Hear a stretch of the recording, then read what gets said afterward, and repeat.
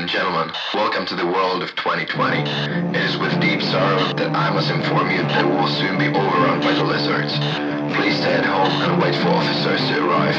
Only together we can make it.